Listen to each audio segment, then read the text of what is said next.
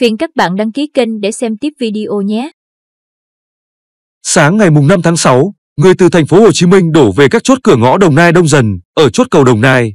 Lượng phương tiện được lực lượng chức năng kiểm tra chỉ xác suất, không kiểm soát hết 100%. Những người đi từ thành phố phải khai báo y tế tại chốt. Theo ghi nhận của tuổi trẻ online, khoảng 6 giờ 45 phút sáng ngày mùng 5 tháng 6, tại chốt chân cầu Đồng Nai, hướng từ thành phố Hồ Chí Minh đi Đồng Nai người dân bắt đầu đổ về ùn ùn để đi làm, thực hiện các công việc khác. Nếu đi từ các tỉnh khác như Long An, Bình Dương về Đồng Nai mà không ghé địa bàn thành phố Hồ Chí Minh cũng được di chuyển và không khai báo y tế.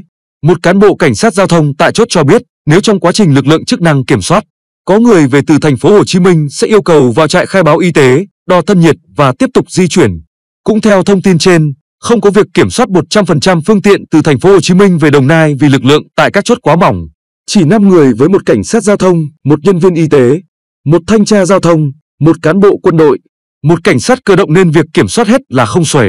Lực lượng tại đây chỉ kiểm tra theo xác suất, chọn ngẫu nhiên một số phương tiện. Theo nhân viên y tế tại chốt, sau đó, tờ khai y tế tại đây sẽ được tổng hợp, phân loại chuyển về địa phương tiếp tục giả soát lại và đến nhà yêu cầu những người khai báo trong tờ khai phải cách ly 21 ngày theo văn bản quy định. Nếu khai báo gian dối sẽ bị xử lý.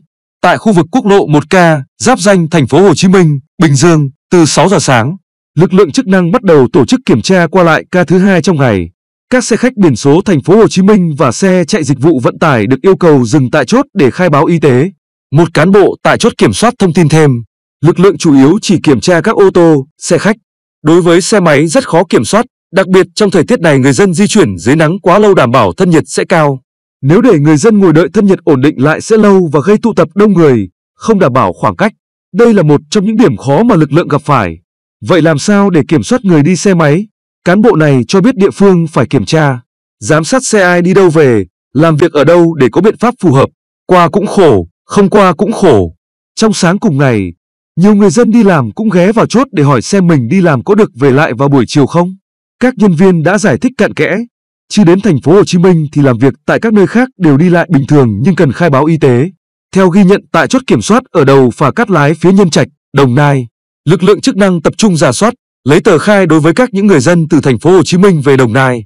Nhiều người khi qua phà gặp chốt được các cán bộ thông tin về việc sẽ cách ly 21 ngày liền quay đầu trở lại thành phố.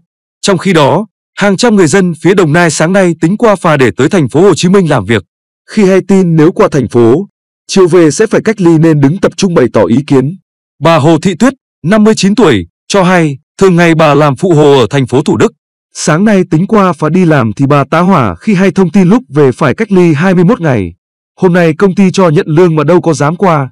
Qua về cách ly 21 ngày không biết lấy gì mà ăn, bà Tuyết nói.